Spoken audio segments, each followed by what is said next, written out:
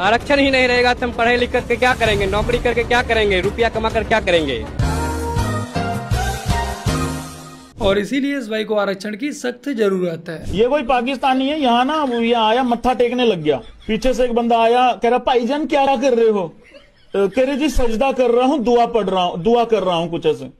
ओ gutter है! Gutter का cover है वो! उसने देखा बहुत अच्छे से बाउंड्री सी बना रखी है। ठीक है? और बाकी सारी चीज़ें ठीक लग रही है। वो दुआ करने लग गया, बाद में भाग के गया है। वैसे तो ये किसी ऊपर देखो ऊपर लिखा है, गटर शरीफ। गटर शरीफ। तो राम राम मेरे प्यारे भाई की हलचल मजामा एक बार फिर से आप सबका स्वागत है अपने चैनल सेफ्रॉन पेट्रियोट में, और मैं आपका भाई दुर्गेश लेकर आ चुका हूँ एक और नई वीडियो। आज की अपनी इस वीडियो को ध्यान से पूरा अवश्य देखिएगा। मैं अधिकतर वीडियोस में ये बात नहीं बोलता हूँ बट अगर आपने आज इस वीडियो को पूरा देख लिया, आपका सर चकरा जाएगा, आप माथा पकड़कर बैठ जाएँगे। और ये सोचने पर विवश हो जाएँ कि यदि आप आज भी हाथ पर हाथ धरे बैठे रहे तो आपका देश, आपका धर्म, आपका भविष्य सुरक्षित नहीं रहने वाला। दो दिन से टीवी पे आप देख रहे हो, बांग्लादेश की जनता शेख हसीना की गलत नीतियों की वजह से कल प्रधानमंत्री आवास में घुस गई, राष्ट्रपति भवन में घुस गई। याद रखना नरेंद्र मोदी जी, एक दिन ये जनता जितने सड़क पे हिलोरे ले रही है, एक दिन तुम्हारी गलत नीतियों से तुम्हारे प्रधानमंत्री निवास में घुस जाएगी, कब्जा कर लेगी। यह कांग्रेस का नेता और पूर्व मंत्री सज्जन सिंह वर्मा जिसने ये विवादित बयान दिया है। असल में हमारे देश में समस्या ये है कि हमारे देश का जो तानाशाह है, वो बहुत ही ज़्यादा कमज़ोर है।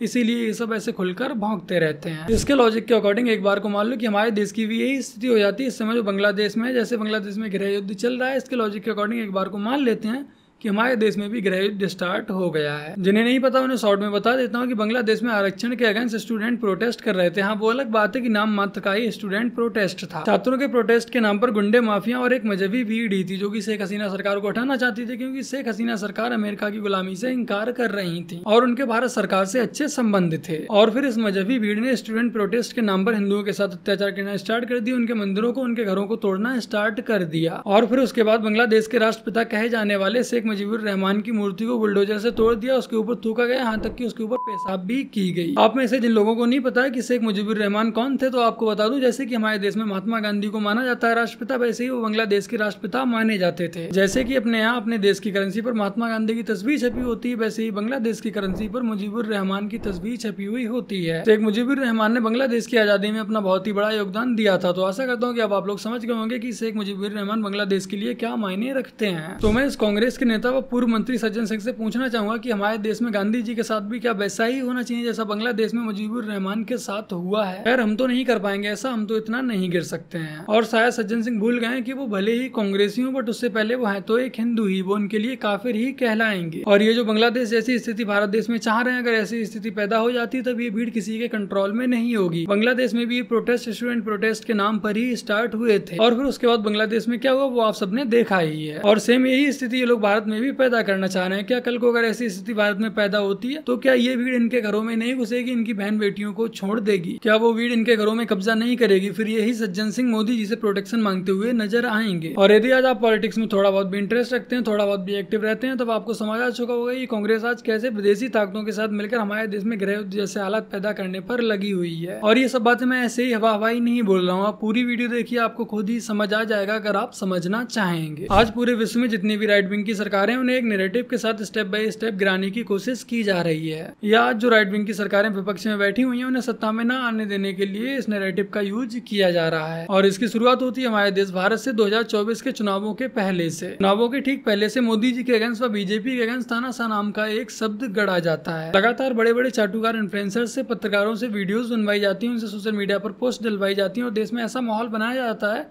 कि देश में आज तानाशाही का माहौल है, कोई भी खुलकर सांस नहीं ले पाता है। कोई भी किसी के खिलाफ नहीं बोल पा रहा है उसे उठाकर जेल में डाल दिया जा रहा है। फिर चाहे वो ये सब लिखते हुए मोदी को गालियाँ ही क्यों ना दे रहे हो, चाहे वो अपराधी ही क्यों ना हो। उसके बाद सेम यही टेक्निक यही नेगेटिव यही टूल बांग्लादेश के खिलाफ भी यूज़ की जाती है और शेख हसीना को भी तानाशाह बताया जाने लगता है। और उसके परिणाम स्वरूप क्या होता है? शेख हसीना को अपना देश छोड़कर भाग के भारत आना पड़ता है। यहाँ शरण लेनी पड़ती है। और ठीक यही नेगेटिव यही टूलकिट अमेरिका में भी डोनाल्ड ट्रंप के अगेंस्ट चलाया जा रहा है। उन्हें भी तानाशाही बताया जा रहा है। और इस सबके पीछे राइट विंग विचारधारा के खिलाफ जो सौरज जैसे न जाने कितने बिलीनर्स लगे हुए हैं। और हमारे देश में राहुल गांधी जैसी कठपुतलियाँ इनके सारों पर नाचने के लिए तैयार रहती हैं। आशा करता हूँ आपको शायद समझ आ गया होगा। कि कैसे आज हमारे देश में नैरेटिव का खेल खेला जा रहा है और आगे भी खेला जाएगा। हाँ वो अलग बात है कि इन देश विरोधी ताकतों का जो नैरेटिव था, जो प्रोपोगंडा था, वो हमारे देश में सफल नहीं हो पाया। बट उसके बावजूद भी इन्होंने मोदी का, बीजेपी सरकार का देश प्रेमी सरकार का नुकसान अच्छा खासा कर दिया। और जब इनका ये नैरेटिव भारत में पूरी तरह से सफल नहीं हो पाया, उसके बाद ये लोग मैदान में एक और नई टूल के साथ उतर चुके हैं। अगर कोई एक व्यक्ति बयान देता है वीडियो बनाता है पोस्ट करता है, तब वो कोई नेरेटिव सेट नहीं कर रहा है, वो कोई टूल का हिस्सा नहीं है। बट जब एक ही बात को, एक ही खबर को, एक ही न्यूज़ को प्लानिंग के तहत सिलसिलेवार तरीके से अंजाम दिया जाए। लगातार सब लोग इकट्ठा होकर एक ही पोस्ट करने लगे। तब आप समझ जाइएगा कि कोई ना कोई टूल किट एक्टिव हो चुकी है। और अब एक नया नैरेटिव सेट किया जा रहा है, एक नई टूल किट मैदान में उतर चुकी है और इसका ताज़ा ताज़ा एग्ज़ाम्पल आप लोगों ने भी हाल फ़िलहाल में ही देखा होगा। जब बॉलीवुड का बड़े से बड़ा स्टार व छोटे से छोटा एक पिद्दी स्टार भी अलाइस और रफा को लेकर ट्वीट कर रहा था पोस्ट कर रहा था इंस्टाग्राम पर स्टोरी लगा रहा था। एक साथ अचानक से ये सब सुबह सोकर उठते हैं और उन्हें याद आता है, अरे इसराइल तो रफा में बच्चों पर अत्याचार कर रहा है, हमें तो इसके खिलाफ आवाज़ उठानी चाहिए। और यहाँ पर मज़े की बात यह है कि इन सबको एक साथ ही याद आता है कि, अरे इसराइल तो रफा में बच्चों पर अत्याचार कर रहा है। बट ये लोग वो दिन भूल गए थे। जब खुद हमास ने उड़ता हुआ तीर लिया था इसराइल पर हमला करके न जाने कितने बेकसूर लोगों की हत्या कर दी थी। तो जब कभी भी आप सोशल मीडिया पर इस तरह की भेड़ चाल देखें, तब आपको समझ जाना चाहिए कि अच्छा खासा मोटा पैसा आ चुका है देश विरोधी एक और नैरेटिव सेट करने के लिए। क्योंकि ये वही लोग थे जब संदेश खाली में जो घटना हुई, उस पर ये लोग एक ट्वीट भी नहीं कर सके इंस्टाग्राम स्टोरी भी नहीं लगा सके, तब इन्हें नज़र नहीं आया आल आइज़ ऑन संदेश खाली। क्योंकि वो इनकी टूल का हिस्सा नहीं है, वो इनके नैरेटिव का हिस्सा नहीं है, इनके लिए उसके पैसे नहीं मिलते हैं। आप लोगों ने यहाँ तक वीडियो देखी, उसके लिए धन्यवाद। क्या आप बता सकते हैं कि इस समय हमारे देश में देश विरोधी कौन सा एजेंडा तैयार किया जा रहा है? कौन सा नेरेटिव सेट करने की कांग्रेस के द्वारा कोशिश की जा रही है? मैंने आपको वीडियो के स्टार्टिंग में कांग्रेस के नेता और पूर्व मंत्री सज्जन सिंह वर्मा की एक वीडियो दिखाई जो कह रहे थे कि जो बांग्लादेश में हुआ है वही भारत में होने वाला है यानी कि गृह युद्ध। और ये सिर्फ़ बयानबाजी नहीं है इसमें आम जनता को भटकाने के लिए और गृह युद्ध करने के लिए उकसाने के लिए किया जा रहा है। और सज्जन सिंह तो इस टूल किट का बस एक प्यादा मात्रा। अब आप लोग राकेश टिकैत को ही सुन लीजिए आपको अच्छे से समझ आ जाएगा। ये तो उस दिन जब ट्रैक्टर लेकर दिल्ली गए ये ना बहका दिए कि लाल किले पे चल जाओ अगर ये उस दिन पार्लियामेंट की तरफ़ को कर देते वो तो 26 जनवरी थी नहीं तो पच्चीस लाख आए थे ये सारा का सारा काम उसी दिन निमट जाता केस। ये निमटेगा चूक चूक रह गई थोड़ी और रहेगी चूक सुना ना आपने कि राकेश टिकैत को अचानक से ही इस समय पर ये याद क्यों आया कि 25 लाख ट्रैक्टर उस दिन लाल किले की जगह पर अगर पार्लियामेंट की तरफ कर दिए होते तो केस उसी दिन निपट जाता क्योंकि अब गृह युद्ध वाली टूल किट एक्टिव हो चुकी है जनता में गृह युद्ध को लेकर नेगेटिव सेट करना है जनता को गृह युद्ध के लिए उकसाना है अब बांग्लादेश की तर्ज पर यहाँ भी पार्लियामेंट पर अटैक करो मोदी का घेराव करो और केस खत्म कर दो अब आप लोग ध्यान से एक बार ममता दीदी को भी सुनिए अगर आपको उनकी लैंग्वेज समझ में आया तो आप लोग नीचे कैप्शन पढ़ लीजिएगा মনে রাখবেন বাংলায় যদি আগুন লাগান আসামও থেমে থাকবে না নর্থ ইস্টও থেমে থাকবে না উত্তর প্রদেশও থেমে থাকবে না বিহারও থেমে থাকবে না ঝাড়খণ্ড থেমে থাকবে না উড়িষ্যাও থেমে থাকবে না আর দিল্লিও থেমে থাকবে না আপনার চেয়ারটা আমরা টলমলো করে দেবো मोदी जी का नाम लेकर के कि सुनो मोदी जी याद रखो, बंगाल में आग लगाते हो अगर तो असम भी नहीं रुकेगा, नॉर्थ ईस्ट नहीं रुकेगा, उत्तर प्रदेश नहीं रुकेगा, बिहार नहीं रुकेगा, झारखंड नहीं रुकेगा, उड़ीसा नहीं रुकेगा, दिल्ली भी नहीं रुकेगी।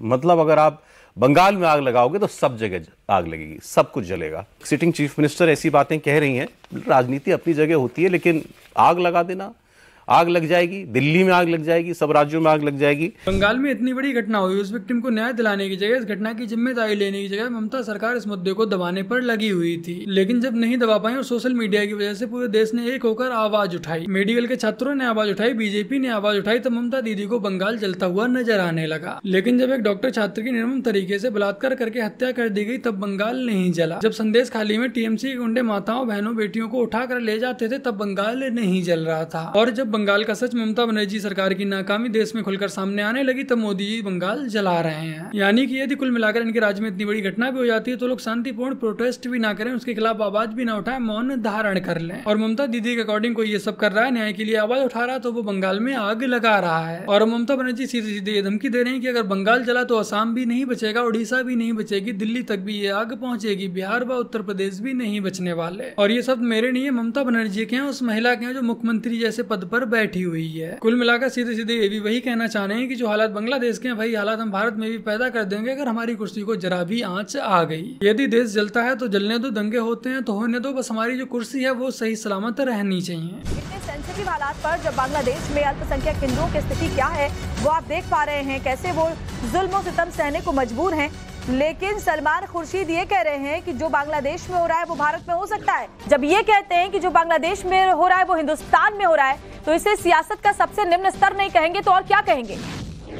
बिल्कुल, देखिए, ऐसा बयान और खासकर कांग्रेस का वो नेता जो विदेश मंत्री रह चुका है। इस व्यक्ति को जो कि कांग्रेस का एक बड़ा नेता है, इसे हमारे देश ने क्या कुछ नहीं दिया, इसे विदेश मंत्री तक बनाया। उसके बावजूद भी आज ये देशद्रोही देश में गृह युद्ध चाह रहे हैं। अब शायद आप लोग आसानी समझ चुके होंगे की हमारे देश को गृह युद्ध में धकेलने के लिए कांग्रेस किस किस तरह के षड्यंत्र रच रही है। और मैंने इस वीडियो में डिटेल में बताया की कांग्रेस कैसे कश्मीर के ज़रिए हमारे देश को बर्बाद करने की साजिश रच रही है। इस वीडियो में मैंने बताया की JK NC Jammu Kashmir national conference, जो की फारूक अब्दुल्ला की पार्टी जिसका कांग्रेस के साथ गठबंधन हो रखा है। वो पार्टी कैसे अपने मैनिफेस्टो के ज़रिए आतंकवाद के लिए और पाकिस्तान के लिए, भारत में घुसने के लिए आराम से रास्ते खोल रही है? और कांग्रेस ने इस देश विरोधी मैनिफेस्टो का रस्ती भर भी विरोध नहीं किया कांग्रेस ने इसे मौन समर्थन दे दिया। ये बात खुद अमर अब्दुल्ला ने बताई है। बाकी का ये सब तो कुछ भी नहीं, कांग्रेस सबसे भी चार कदम आगे निकल गई है। सुनिए कांग्रेस के एक नेता सागिर सईद खान को। Breaking development coming in this time a shocking video of Congress leader Haji Sagir Saeed Khan has emerged in which he is allegedly promising 1 crore rupees reward for terrorists killed by forces in Kashmir. He says that if Congress comes to power, then Congress will release all those arrested in cases of terrorism. Look at the bizarre promises.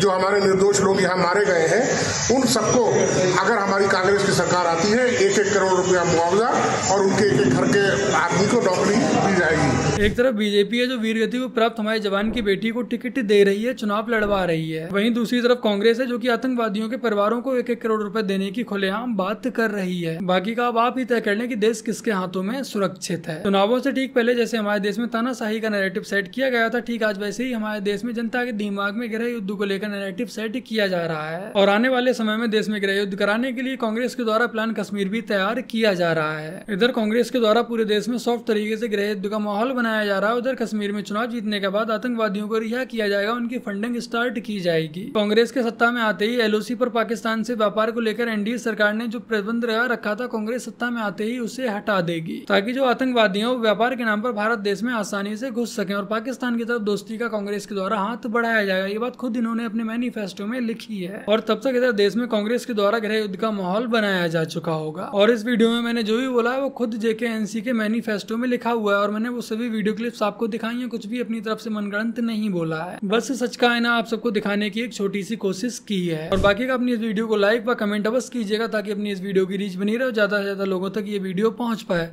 और अपनी इस video को कम से कम अपने किसी एक मित्र के साथ ये कहकर साझा अवश्य कीजिएगा कि वो इस वीडियो को पूरा अवश्य देखे। तो बस मेरे प्यारे आई बनो आज के अपने इस वीडियो में इतना ही। वीडियो को लाइक शेयर कमेंट और अपने इस चैनल को सब्सक्राइब आज से कर लीजिएगा। चलिए जल्द मिलते हैं एक और नई वीडियो के साथ। तब तक के लिए जय हिंद, वंदे मातरम, जय श्री राम।